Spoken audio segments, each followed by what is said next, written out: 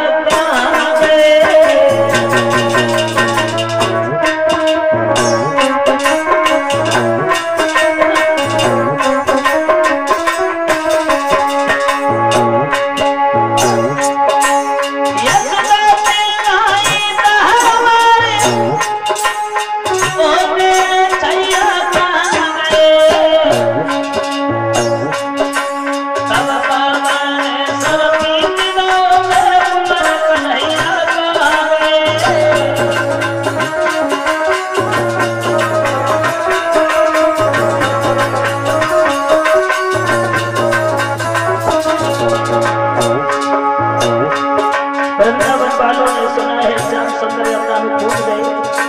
हाल बेहाल है।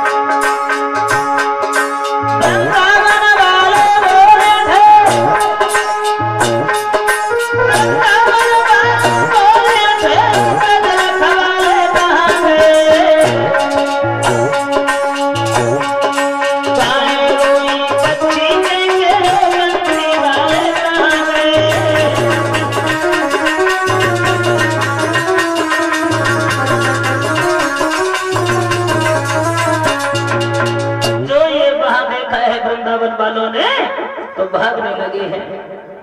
भाग भाग करके मैया यशोदा बाबा यमुना के किनारे आ जाते हैं।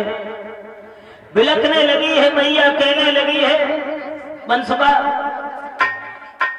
कन्हैया कूद गया यमुना में हम भी नहीं ज़िंदा रहेंगे।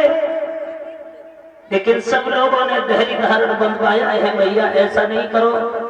अरे, कन्हैया कोई तुच्छ जीव नहीं है, तुम्हें नहीं पता है, कन्हैया को कुछ नहीं होगा तुम चिंता नहीं करो। इधर जो भगवान श्याम सुंदर पहुँचे हैं, कालिया नाग अपनी गहरी नींद में सो रहा है।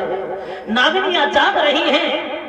नागनियों ने देखा, भगवान श्याम सुंदर को तो एक कहने लगी, देख ले बहन, कैसो सीधो चलो आए रो जाए जाना पता, हमारे पति है जग गए तो एक फसकार में जाको पतो ना चलेगो चाहे समझ आए पीछे लौट जाए।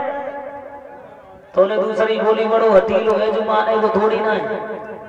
भगवान कन्हैया, जब पास में आए हैं तो नागरी कहने लगी है, कौन हो तुम? अरे भाई, तुम्हें पता नहीं, हमारे पति हैं। सो रहे हैं, ये गए तो तुम्हें है तुम्हारा क्या हाल होगा तुम्हारी मैया रो रो के मर जाएगी। इसलिए एक काम करो, पीछे लौट जाओ। भगवान कन्हैया कहने लगे हैं, नागरियों